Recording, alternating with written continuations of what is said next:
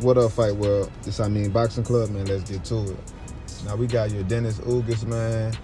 He um, I'm not sure if he's still in the hospital, but I know he just talked to his doctor, and his, he said his doctor said that he healing up good, and um, he he said that he had a fractured orbital bone, and he said that uh, the doctor told him that he don't even need surgery for it, and uh, that it's healing up and it's looking good for him. So the doctor didn't say nothing about a broke broken ribs, you know, just a, a fractured orbital bone. So I don't know where Derrick James got this information from. I don't know if that's how he felt. Uh, Ugas had broken ribs or something like that, but you know, I ain't see no other reports of him having broken ribs outside of Derrick James saying that. So, you know, um, he took a he took a some vicious body shots, man. He took a beating in that fight. So I know he damaged, man, but you know, um, from what Ugas is saying, he only have a fractured orbital bone. So he already thinking about his comeback fight, and he want his comeback fight to be Keith Thurman. So, you know, um, once he healed all the way up, man, and, and he back he back in shape and stuff, uh, you know, he he back in camp and stuff like that. I think uh, that's I don't think that's a bad fight, man. I think it's a good fight, but I think it's a better fight for Keith Thurman because you got a guy that took a bunch of punishment against Pacquiao, even though he won. He was in a war with Pacquiao. Then he just got in a in a fight with Uga. I mean, with Spence, and uh, he took a beating, man, and um, he got stopped. Uh, I believe that was the first time he got stopped in his career. So he took he took a beating, man, eye closed shut, man. Um, he he got punished in that fight. So that'll be a good win for Keith Thurman.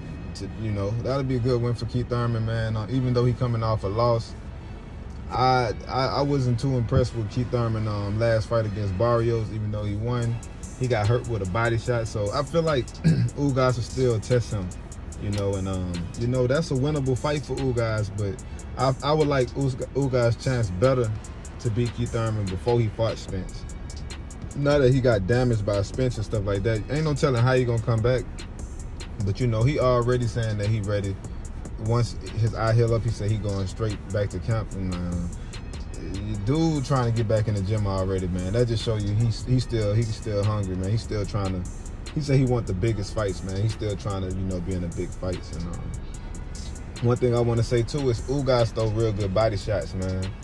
And um, early on against uh, Spence, man, he was he was landing some good body shots, man. He was doing good, but you know he just slowed down, man, because you know Spence was Spence. You know, Spence is a uh, high volume man. He just was outworking him, hitting him with real punches, man, and broke him down. But uh, Keith Thurman, I don't think nobody like getting punched in the face. I don't think nobody like getting punched in the body. But Keith Thurman really don't like body shots, man. When he get hit with body shots, he ball up, and it's like it affects him a lot. So that'll be interesting to see like how he'll deal with body shots from Ugas and Ugas is a durable fighter. Even even the, the uh, beating Spence was putting on him, he still was fighting. He still was uh he he didn't have no quit in him, man. He still was trying to win. And um, what Keith Thurman gonna do when when he get late in the fight with Ugas and he's still throwing his body shots? And um, you know, I give Spence so much credit for being like the best. He he break down fighters better than any fighter in boxing, in my opinion. And um I, feel like Keith Thurman them they like to hit you with like one big shot, you know, hit you.